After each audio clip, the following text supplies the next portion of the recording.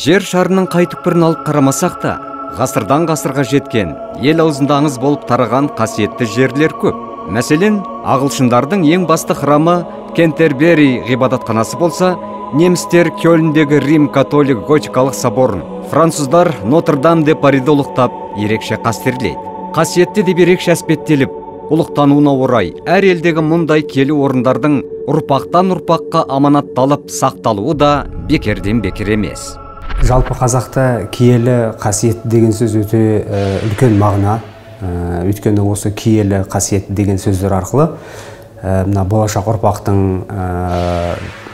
өмірге деген жаңағы көзқарасын жалпы адамгершілік қасиеттері солардың барлығын көтеруге өте үлкен маңызы бар екен бұл қасиетті жерлердің. Енді былай қарап тұрсаңыз жалпы зерттеулер бойынша тек үлкен ғұлама жаңағы не дейді үлкен жаңағы қасиетке ие адамдар жерленген жерде ғана сондай киелі нелерді байқауға болады. Өйткені ол адамдардың өзінің көзінің тірісіндегі энергетикалық жаңағы күші энергетикалық жаңағы басқа да қасиеттері сондай үлкен болғандықтан енді ары қарай қайтыс болғаннан кейін де ол құр жатпайтын шығар. Сол жерленген жерде сол аймақта сондай қандай да болмасын жағынан көрініп солай жүретін шығар. Иә киелі қасиетті деген ұғымдардың мағынасы ауқымды. Ол тек бойында өзгеше қасиеті бар. Пайғамбарлар мен әулие әнбияларға дара қабілетімен ерекшеленген данышпандарға рухани тұрғыда кемеліне келген тұлғаларға ғана арнап айтылмайды. Сонымен қатар қасиетті орындар мен мекендерге де қатысты айтылады мысалы тарихы сан ғасырдан сыр шертетін түп төркінде ерекше таңғажайып бір оқиға орын алған қасиетті ағаш қасиетті өзен көл киелі тау деген тіркестер де осы сөзіміздің айғағы. Әсіресе мысалға әулие әмбиелер жерленген өте атақты адамдар жерленген хандар жерленген жерлерді біз қасиетті жер деп есептейміз. Бұл қасиетті жерлердің негізгі қасиеті ол сол жерде жерленген тұлғаның бойындағы қуаттарға байланысты. Мысалға ел басқарған хан оның бойында тұнған қуат болады. Ол бекерден бекер адам ел басқармайды. Жалпы ол ондай адамдарды біз сегіз қырлы біз тірлі деп қазақ өте дұрыс айтқан. Кез келген нәрсені ол шеше алады. Сондай жан жақты тұлға деп айтса болады. Қасиеттілік киелілік атаулы белгілі бір ұлтқа немесе бір халыққа ғана тиесілі емес күллі адамзатқа ортақ ұғым. Өйткені оның түп төркінінде жаратушының құдіретінің бір көрінісін еске салатын ерекше күш пен нұрдың сипаты тоғысқан. Басқа халықтарды айтпағанда жер бетіндегі барша мұсылманға киелілік түсінігінің бастауы мекке мәдинеден басталатындай болып көрінуінің бір сыры да осында болса керек. Киелі жерлер деп отырғанымыз бұл ә, жалпы алғанда әулиелі жерлер болмаса соған адам тағзым ететін жерлер дейміз. Э, немесе бір қасиеті мол қасиеті энергиясы бар жерді ә, сол бір киелі қасиетті жер деп айтамыз қасиетті жерді ә, егер не қылсақ атаманы хауанадан бастап айтатын болатын болсақ бізде ә, мекке мен мәдинаны айтуға болады. Ең киелі қасиетті жер. Өйткені бүкіл мұсылман ә, халқы барып сол жерге тағзым ететін жер. Ол жерде неге қасиетті несімен қасиетті? Жердің барлығы бірдей болады бірақ соның ішінде қасиетті жер дегендер болады. Атап айтатын болсақ ол жерде ә, айталық біздің ә, пайғамбарымыздың ә, сол жерде пайғамбар болған ә, пайғамбарлық жолға түскен жері бірінші қырық жастан асқан кезінде.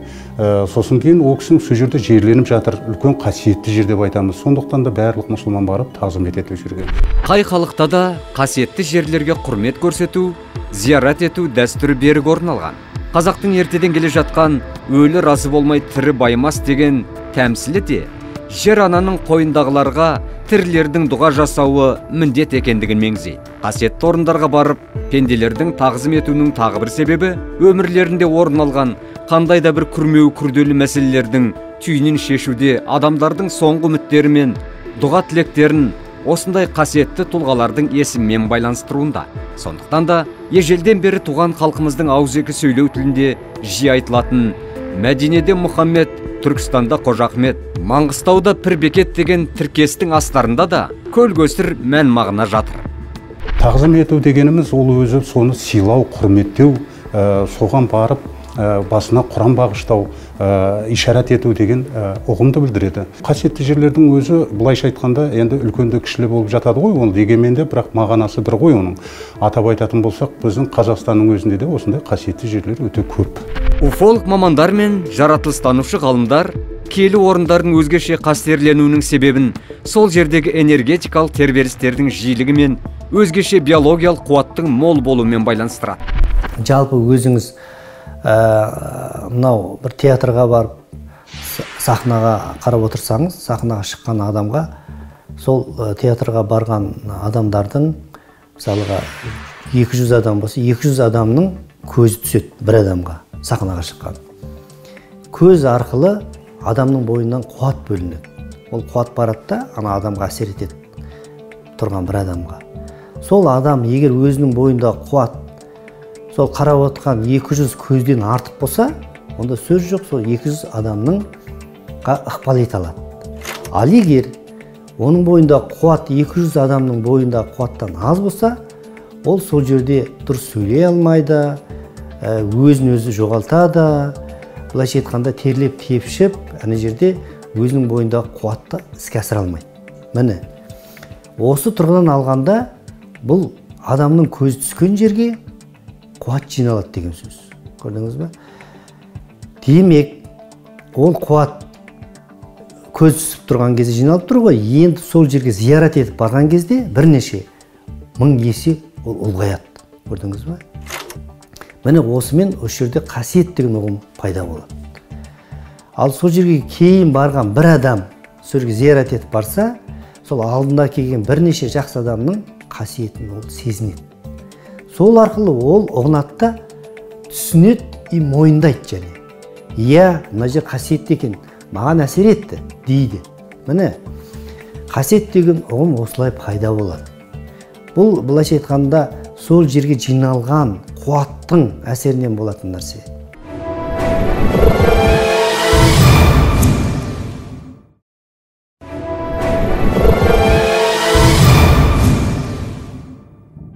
Алысқа бармай ақ өзіміздің кең байтақ қазақстанның шығысынан батысына оңтүстігінен солтүстігіне дейінгі аймаққа дейін созылып жатқан ат шаптырым жерін алатын болсақ бір маңғыстау облысы ғана 362 әулие жерленген киелі мекен саналады. Әрбір адамның өзінің жеке шекарасы болады сол қуат жиналған қасиетті орынға барған кезде адам сол шекараға кірген кезде сезінеді сол шекара. Қуатты көрдіңіз ба? Содан ол өзіне жақсы бір сезімдер алады жол ашылады бойында көңіл күй көтеріледі ескі қуаттардың бәрі шешіледі. Демек ол алмасады қуат алмасу деп айтуға болады. Міне осы тұрғыдан алған кезде біздің қазақ жерінде 362 әулие бар деп есептейміз. Жалпы сол жерлерге барған кезде адам өте жақсы өзін сезінеді.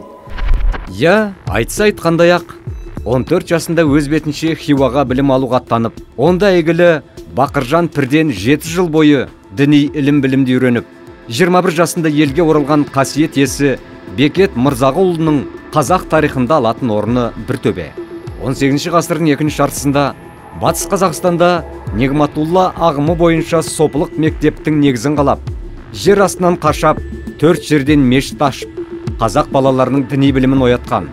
Қалың елге имандылықтың ұйытқысы болған пір бекеттің есімі сонысымен қастерлі. Қазірде маңғыстау облысының оғланды тауында орналасқан бекет ата кесенесі оған қысы жасы ағылып келушілердің құтты мекені. Осы бекет әулиенің бойындағы тылсым қасиеті оның өзі салған жер асты мешіттерінен де көрініс тапқан деген аңыз бар. Соның бірі оның маңғыстау облысының төрт бұрышындағы жер асты мешіттерінің төртеуінің де бір астрологиялық нүктеде түйісетіндігі болса одан кейінгі бір таңғаларлық оқиға сол жер асты мешітінде оқылған құран сүрелерінің сыртта жұма намазына жиналған жандарға ешқандай микрофонсыз анық естілетіндігі. Кез келген қасиетті жерде жатқан үлкен әруақтар олардың барлығы көзі ашық көкірегі ояу қасиетті адамдар болған. Сол ә, бірінші сол білімдарлығының арқасында соның елге тарату арқасында сондай ә, өзінің бір жақсы энергияларын бөлу арқылы беру арқылы тарату арқылы солай ә, өзінің бір ә, жақсы қасиеттерімен есте қалады. Ол аңыз болып адамнан адамға ұрпақтан ұрпаққа беріліп жатады. Еліміздің қай өңірінде де мұндай тұлғалар жерленген қасиетті орындар түрлі тарихпен айтулы адамдар өмірінен сыр шертеді. Ғалымдардың айтуынша семей топырағындағы дархан даланың данышпаны ұлабай мен ойшыл ақын шәкәрім құдайбердіұлының кесенелері орналасқан аумақ аса ауқымды ғарыштық энергия көздеріне бай өңір саналады. Сондай ақ бүгінде қазақстанның киелі жерлері географиялық жобасына оңтүстік өңірден 100 орынның тізі енгізілген. Атап айтқанда қасиетті арыстан баб қожа ахмет яссауи ибрагим ата қарашаш ана гаухар домалақ ана бәйдібек баба кесенелері осы аймақта орналасқан. Әйгілі арыстан баб кесенесі жанында шипалық қасиетке бай тұзды суы бар құдығымен таң қалдырса. Оның шәкірті қожа ахмет яссауи кесенесі тұрған түркістан қаласын барша түркі халықтары кіші мекке санайды 1396-1399 жылдары әмір темірдің бұйрығымен салынған қожа ахмет яссауи кесенесі 19 ғасырдың соңына қарай тарихи мәдени мұра ретінде ғылыми тұрғыдан зерттеле бастады. Бұл да аты айтып тұрғандай отырар өлкесінен имандылық пен ізгіліктің нұрын шашқан қалың қауымға сопылықтың соны соқпағын көрсеткен әйгілі қожа ахмет яссауи бабамыздың өмір жолы мен атқарған ісімен байланысты. Әсіресе түркі тілдес халықтың арасында өте көп тараған. Екінші мекке деп қоямыз мынау қожа ахмет яссауи мавзолейі ә, түркістан дейміз ә, қаласы ескі аты. Бұл жерде бір өзі қасиетті жер дейміз несімен қасиетті ол? Оның қасиеті соншалықты енді оны тарихқа жүгінетін болсақ арғы тегінде енді осы бірінші қожа ахмет яссауидің өзінің тегін адам болмағандығы. Ол өз алдына үлкен бір тарих айта берсек шешіп тарқатып бұл жерде мәселе қасиеттілікте болып тұр ғой. Сол қасиетті жердің төңірегінде біздің хандарымыз бен сұлтандарымыздың жерленуі соның төңірегінде мавзолейдің төңірегінде түркістанда. Ә, сол жерге киізбен алыстан алып келіп жерлеп қасиетті жерге ә, орналастыруы соңғы сапарға. Сондықтан да барып міне сол үлкен қасиетті адамдардың сондай жерде жерленуі бір қасиетті білдіреді. Діндарлар қасиетті жерлерге арнайы тақарат алып алдын ала ниеттеніп бару қажеттігін ескертеді. Бұл біріншіден келі орынға деген құрмет болса екінші жағынан ондағы энергетикалық тепе теңдіктің сақталуына да негіз болмақ. Десек те ислам діні қағидасы бойынша әулиелі орындарға зиярат етуге болғанымен түнеуге болмайды. Әрбір есті пенде тілек ниеттің қабыл болуы тек жаратушының шапағатшы болумен ғана жүзеге асатынын естен шығармаған абзал. Мысалға мен өзім ә, кезіндегі баба түкшасази деген әулие болған. Кезінде алпамыс батырдың әке шешесі зиярат етіп сол жерде содан алпамыс батыр дүниеге келеді ғой. Міне сол жерге барып мен зиярат еткен кезде сезінгенім бұл жердегі қуаттың өзі ерекше. Басында бұлағы бар сылдырлап ағып жатқан сол бұлақтың айналасында балықтар бар сонымен қатар жыландар бар. Демек балық ол жақсы қуатты білдірсе жылан жаман қуатты білдіреді көрдіңіз ба екі қуат бір бірімен алмасып тұр ана жерде. Демек сіз өзіңіз жақсы адам болып барсаңыз сөз жоқ. Ол жерде жаңағы бұлақтың сылдыры табиғаттың бойында қуат балықтардың бойында қуатты сіз сезінесіз соны аласыз. Ал егер жаман адам болса ол сөз жоқ. Жыланның бойында қуат әсер етеді. Жылан шағып алуы мүмкін. Я болмаса жыланның бойындағы сұсты пайда байқауы мүмкін. Сол арқылы адамның бойында бір бейне бір ә, діріл пайда болады. Ол діріл. Жаман жағынан да келеді жақсы жағынан да келеді.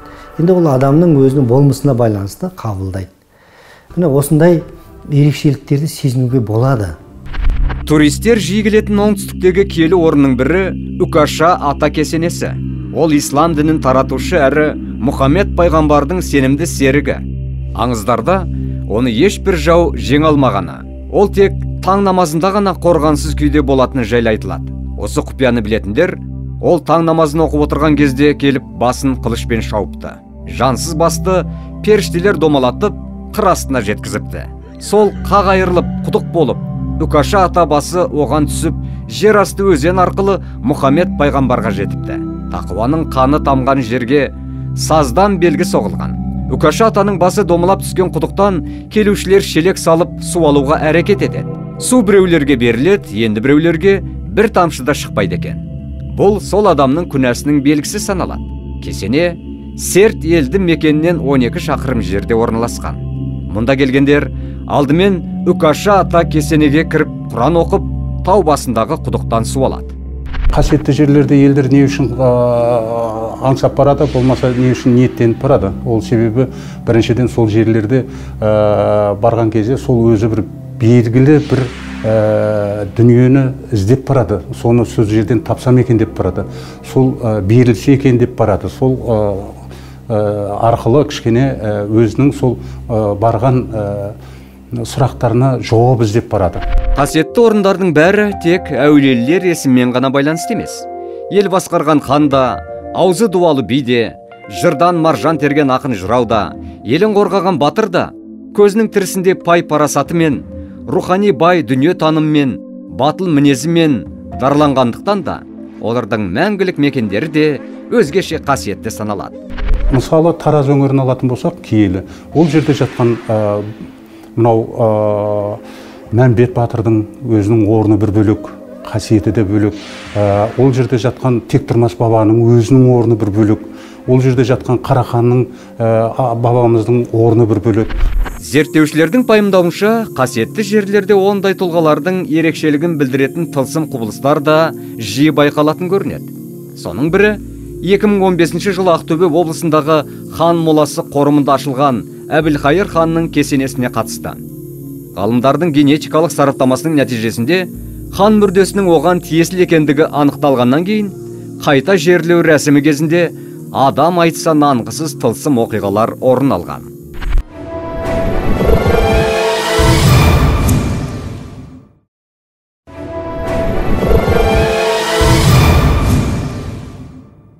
Сол жерде үлкен жаңағы ә, әбілқайыр ханға стелла тұрғызылды. Үш неден тұратын жаңағы монумент. Ә, сосын ә, жаңағы әбілқайыр ханның жатқан жерінде кесенесін тұрғызды. Жерлеу кезінде енді бір қандай да болмасын күш бұл енді. Өйткені ол жер оңай жер емес киелі жер деп есептеледі. Барлық жаңағы видео түсіріп жатқан камералар сосын жаңағы түсіріп жатқан түрлі аппараттар фотоаппараттар барлығы сол жаңағы кішкене ә, ә, суретке түсірілмей қалды сол жерде көп нелерді суретке түсіргенде кадр көрінбейді. Енді қазір барлығында қазіргі заманның фотоаппараттары ғой цифрлы барлығы сандық дейді ғой. Ә, былай енді артынан кейін жаңағы кішкене саралап қарасаңыз жерлеу рәсіміне дейінгі суреттер бардағыны жерлеп жатқан жерлеуден жерлеп жатқан кездегі жаңағы нелері жоқ суреттердің барлығы. Барлығы аппақ болып кеткен. А жерлеуден кейінгі қайтадан суреттер қайтадан іске қосылады. Бұл енді шынын айту керек сөзбен айтып жеткізу қиын мына. Бұл қандай да болмасын күш бар деген сөз ол жерде. Енді энергетикалық тұрғыдан ба енді оны ә, ғылыми тұрғыдан да түсіндіру қиын шығар бұны жамбыл облысындағы қасиетті жердің бірі айша бибі кесенесі. Тарихи дерек бойынша төл халқымыздың санасында ғасырлар бойы 12-де бір гүл ашылмаған бойжеткендердің бірі саналатын айша бибі өзінің сүйіктісі қараханды іздеп келе жатқанда аса өзеннің бойында жылан шағып дүниеден өткен. Мынау айша бибі мазарына енді жас, жас кезімізде біз бала кезімізде анша көп оның мағынасына пайымына бара бермедік қой. Жалпы бір мавзолей мазар ретінде қарадық та қойдық оны бала кезімізде болатын. Ә, сол өңірде жәнінде өскеннен кейін. А бертін келе ол селоның өзінде бір головачевка деп бір атпен аталатын болған. Біз енді оны головачевка деп қоятынбыз. Бертін келе оның атын өзгертіп айша деп қойды. Мына егемендік алғаннан кейін сонда барып ойлана бастадық. Бұл кісі қандай? Соның қасында мектепте де оқыдым мен. Сол айшабиге барып құран бағыштап тұрамыз ә, анамыздың барып бейіттің басына. Есіңізде болса сол айша бибінің мавзолейінің жартысы бұзылып көп уақытқа дейін шынымен қоршалып тұрды жабық күйінде. Біздің бала кезімізде көз алдымызда солай болатын. Енді қазір ғой қасында кішкене соғылып бәрі қайтадан реставрациядан өтіп жасалынған. Сонда бір солдаттар бұзыпты деген бір аңыз болатын. Солдаттарға сол мавзолейді бұздырып сол киесі тиіп сол солдаттар қайтыс болып кетті деген ә, бір аңыздарда да болды. Сосын кейін оны тоқтатып қойыпты бұзуын. Сол бұзылған күйінде солай тұрды ол шынының ішінде. Саркофаг сияқты былай ә, қоршалған күйінде. Мінекей ә, оның өзі де бір мүмкін сондай бір мәлімдеменің өзі босқа болмайды ғой енді сондай бір. Басқа халықтарды айтпағанда қазақ халқында әрбір қасиетті жердің өзіндік ерекшелігі мен сипаты бар деп саналады. Мысалы отау құруды аңсағандар семей өңіріндегі қозы пен баян сұлу кесенесіне тағзым етсе тұрмысқа шығуға ниеттенген бойжеткендер мен бір перзентке зар болған ата аналар айша бибінің кесенесіне отбасының беріктігін сақтауға ниет етушілер домалақ ананың басына барып тәу етіп тілек тілеуі сан ғасырдан бері жалғасып келе жатқан дәстүр. Мына оңтүстікке елге барған сайын домалақ ананың кесенесі бар бізде. Сол домалақ ананың кесенесіне міндетті түрде кіріп шығамыз.